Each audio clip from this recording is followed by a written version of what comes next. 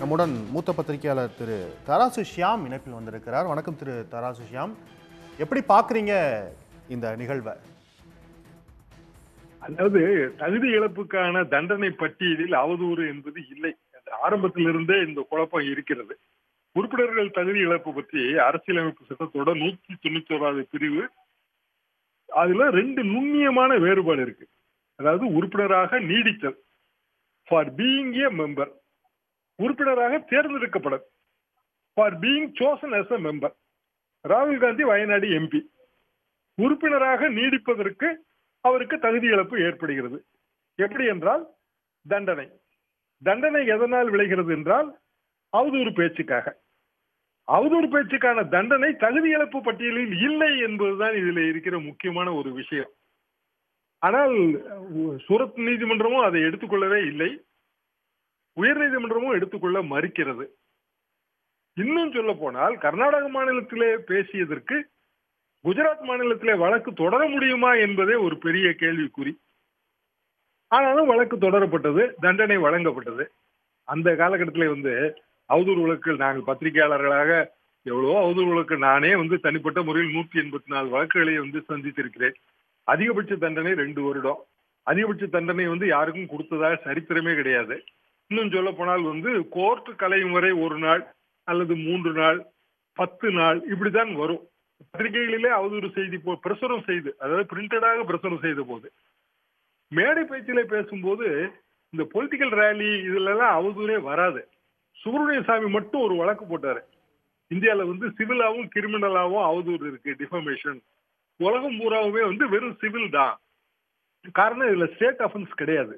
ஒரு இண்டிவிஜுவல் தான் இதுல பாதிக்கப்படுவாரு. அந்த இண்டிவிஜுவலுக்கு அந்த தண்டனை மூலமா நிவாரணம் கிடைக்காது. ஆனா அதுக்கு பதிலாக சிவில் டேமேஜ் மூலமா நிவாரணம் கிடைக்குங்கிறது அதுல வாதம்.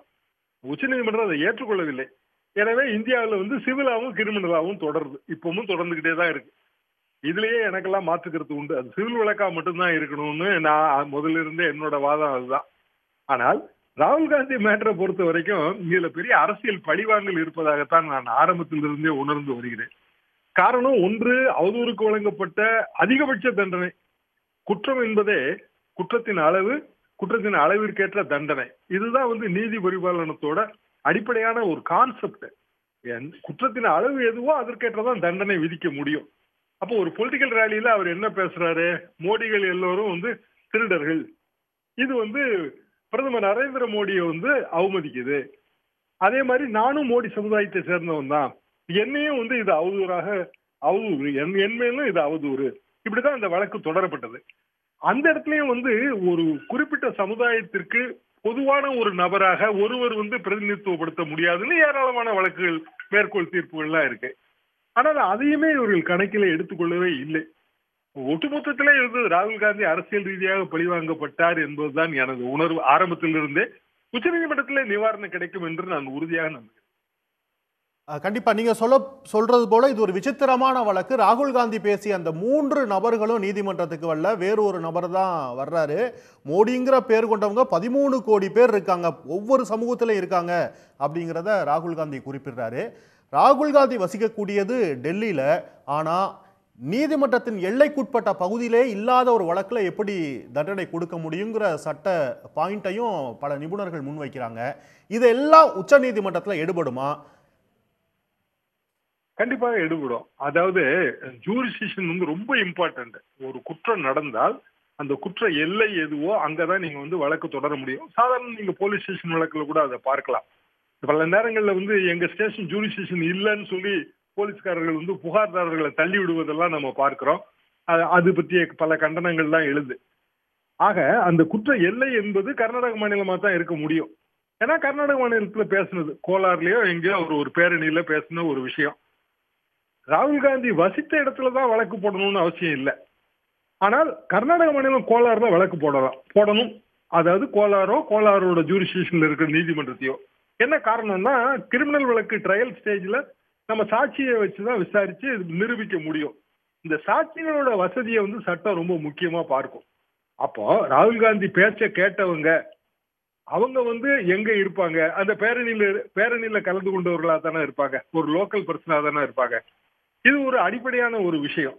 ஆக கர்நாடக மாநிலத்தில் ஏதாவது ஒரு நீதிமன்றத்துல வந்து இந்த வழக்கு தொடர்ந்து நடத்தியிருக்கலாம். அதற்கு பதிலாக வந்து குஜராத்ல நடத்துறது என்கிற ஒரு முடிவு எடுத்தது. அதுவும் வந்து முதல்ல வந்து இந்த குஜராத் முன்னாள் அமைச்சர் அவர் பேர் புர்ணேஷ் மோடி. அவர் தான் குஜராத் நீதிமன்றத்துல வழக்கு தொடர்ந்தாரு. அப்புறம் அவரே ஸ்டே வாங்கினாரு. அதுக்கு பிறகு அவசர அவசரமா வழக்கு விசாரணை நடந்தது. தண்டனை வழங்கப்பட்டது. இதே மாதிரி இப்போ நேற்று ஓபிஎஸ் அந்த மகா வழக்குல முப்பது நாள் நிறுத்தி வைக்கிறதுக்கு கொடுத்த மாதிரி அதுலயும் முப்பது நாள் வந்து சஸ்பென்ஷன் கொடுத்தாங்க. சஸ்பென்ஷன் எப்பவுமே ஸ்டே ஆகாதுங்க. சஸ்பென்ஷன்ங்கிறது தண்டனை நிறுத்தி வைப்பு. ஆனா தண்டனை அப்படியே தான் இருக்கும். ஆனாலும் கூட அந்த முப்பது நாள் கூட பொறுக்காம தான் வந்து ராகுல் காந்தியோட எம்பி பதவி வந்து பறிக்கப்பட்டது. வயநாடு தொகுதி காலியா இருக்குன்னு அறிவிக்கப்பட்டது. ஆனா அடுத்தாப்புல தேர்தல் நடக்கும்போது வயநாட்டுக்கு தேர்தல் வைக்கவே இல்லை. இவ்வளவு பெரிய அவசரம் காட்ட வேண்டிய அவசியம் என்ன? இந்த மேனிஃபெஸ்ட் பெருவர்சிட்டிங்க வெளிப்படையாக தெரிகிற வக்ரம் என்று சட்டம் வந்து அதை தெளிவுபடுத்தும். பல பல இடங்களில் வந்து இந்த வழக்குல தொடர்ந்து பதவி பறிக்கப்பட்டது வரைக்கும் நீங்க பாத்தீங்கன்னா இந்த மேனிபெஸ்டோ பெருவர்சிட்டி வெளிப்படையாக ஒரு வக்ரம் தெரியும். அது அரசியல் வக்ரம் என்பதால் எங்களை போன்றவர்கள் இதை கடுமையாக எதிர்க்கிறோம்.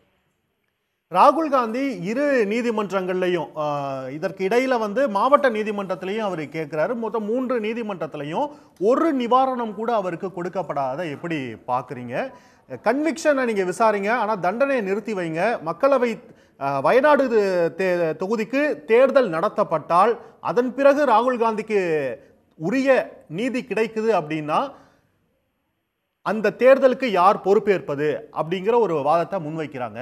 மூன்று நீதிமன்றங்களையும் ஒரு நிவாரணம் கூட ராகுலுக்கு கிடைக்காத எப்படி பாக்குறீங்க அதாவது தண்டனை வழங்கிய நீதிமன்றம் தன் தண்டனைக்கு தடை கொடுக்காது சே கொடுக்காது. சஸ்பென்ஷன் மட்டும்தான் கொடுக்கும். தண்டனையை நிறுத்தி வைக்கும்.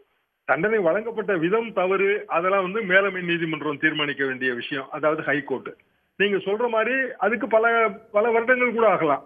ஆனால் அது வரைக்கும் வந்து ஒரு ஒரு அரசியல்வாதியோட அரசியல் வாழ்க்கை வந்து பாதிக்கப்படுமா பாதிக்கப்பட்டால் அது irreparable டேமேஜ் மீ மீண்டும் அவருக்கு என்ன ஒரு நிவாரணம் கிடைத்தாலும் இந்த இழப்பை வந்து நம்ம ஈடு செய்யவே முடியாது.